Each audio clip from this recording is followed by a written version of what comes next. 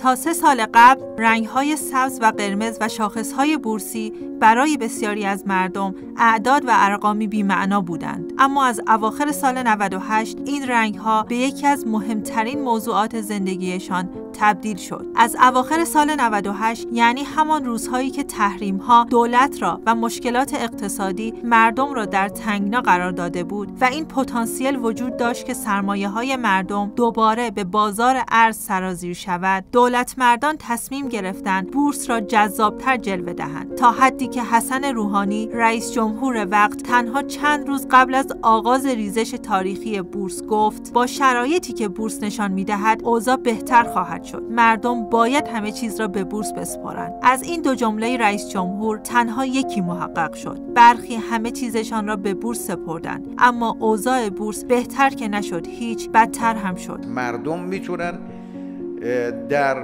بازار بورس بیان خریدهایی بکنن که برای آیندهشون برای داراییشون اطمینان بیشتر پیدا بکنن. مردم بدونند سکه جای سرمایه گذاری نیست دلار جای سرمایه گذاری نیست اما بورس جای سرمایه گذاری است. به نظر من از انتهای سال 98 دولت وقت نسبت به این موضوع اشراف کامل پیدا کرد و پتانسیل بازار سرمایه در جذب نقدینگی و جذب پول رو متوجه شد. اون سیاست های بودجه هم که داشتن توی واگذاری یک سری سهامی که متعلق به دولت بود.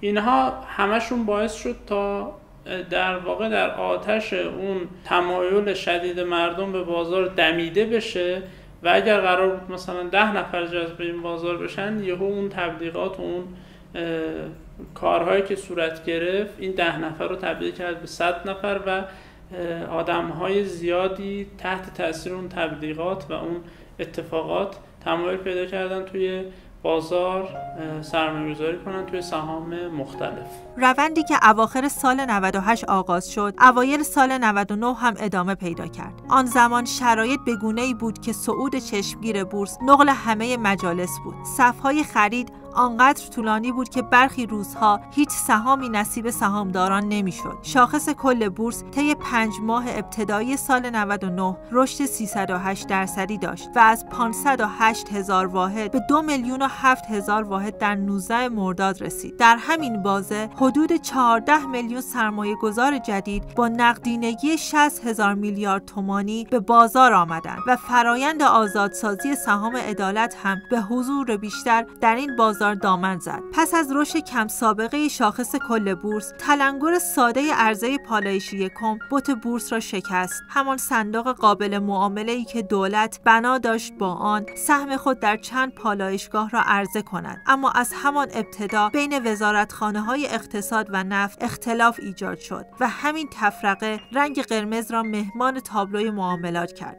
مشکل سال 99 این بود که اولا در شرایطی که بستر پذیرایی از این همه متقاضی سرمایه گذاری نبود این اتفاق افتاد. یعنی در واقع شما وقتی سیستم معاملاتتون نمی‌کشید وقتی مردم دانش و آگاهی نسبت به سرمایه‌گذاری در سهام نداشتن به اون شکل تشویق اینها در واقع مثل این بود که بدون اینکه فرد آموزش لازم برای رانندگی رو داشته باشه.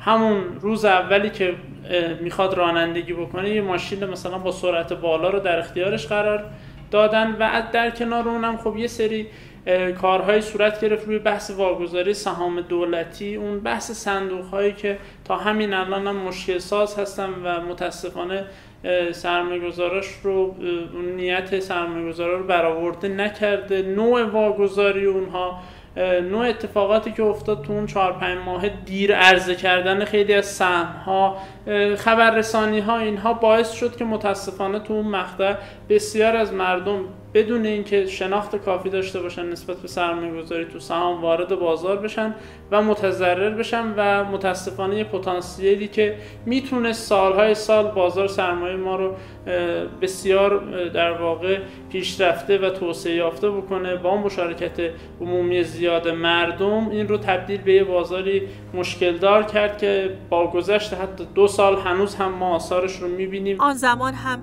افرادی همچنان امیدوار و منتظر بودند که روزهای خوش سعودی بازگردد قافل از اینکه زمان زمان ریزش بود و بسیاری از سهامداران تا 80 درصد سرمایهشان را از دست دادند. شاخص کل بورس در شش ماه دوم سال 99 تا یک میلیون واحد کاهش یافت. مسئولان با وعده ها و تصمیمات خود سعی کردند نفس را به بازار نیمه جان بازگردانند اما عملیات احیا سودی نداشت. بسیاری از افراد در این بازار ضرر کردند زیانی که رقم دقیق آن هیچ وقت سوی مسئولان اعلام نشد و هنوز هم معلوم نیست چه میزان نقدینگی و سرمایه مردم در بازار سرمایه سوخت و چقدر از کسری بودجه دولت توسط این بازار تامین شد. نظرسنجی ایسپا نشان می‌دهد حدود 21 درصد مردم در سالهای 98 و 99 در بورس سرمایه گذاری کردند که بیش از 77 درصدشان زیان دیدند و تنها 8 درصد آنها سود کردند. بستر آماده نبود و نباید اون تشویقات صورت می گرفت حالا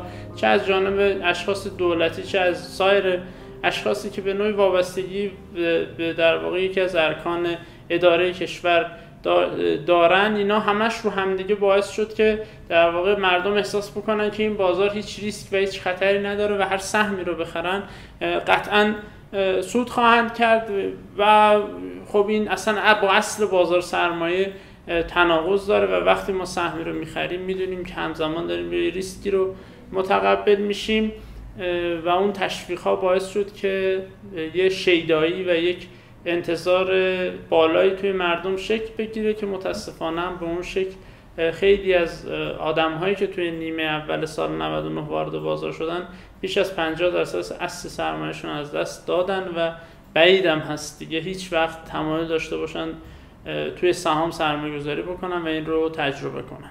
به نظر من یه عددی حداقل حدود 50 هزار میلیارد تومن تو اون مقطع توسط دولت تعمین مالی شد و توی بازار سهام فروخته شد. حالا یا مستقیم یا غیر مستقیم. یه بخش از فروش توسط خود دولت تو اون مقطع صورت گرفت که عرض کردم حد و حدودش رو. یه بخش از فروش توسط شرکت های حقوقی بود که خب سالیان سال بود این سهم ها رو داشتن. حالا اون مقطع از اون فرصت در واقع پیش اومده استفاده کردن و فروش انجام دادن. قطعا یک سری آدم های اون بودن که مثلا یک سال بوده تو بازار سرمایه گذاری کرده بودن 6 ماه بوده و وقتی اون قیمت ها رو دیدن فروختن. تمام کسانی که تو اون مقطع بدون آشنایی وارد شدن اونا متضرر شدن و ضررشون هم مشخصه. سید ناصر موسوی رئیس هیئت تفحص از سازمان بورس آبان سال قبل گفته بود افزایش شاخص و افت تاریخی بورس موجب شد 90 درصد سرمایه مردم معادل بیش از 1500 میلیارد تومان نابود شود. وضعیت بعد بازار.